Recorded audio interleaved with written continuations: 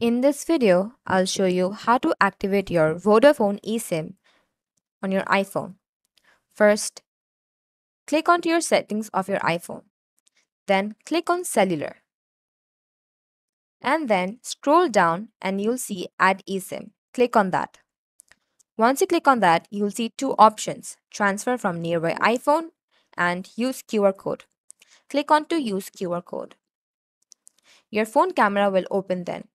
If Vodafone eSIM has sent you a code, scan through this, or else you can enter details manually. For that, you'll need to fill out your SM-DP address, activation code, and confirmation code. Once filling out these informations, you can click on to next and then follow the prompts. And just like that, you can activate Vodafone eSIM on your iPhone. For more quick tutorials, Give this video a like and subscribe.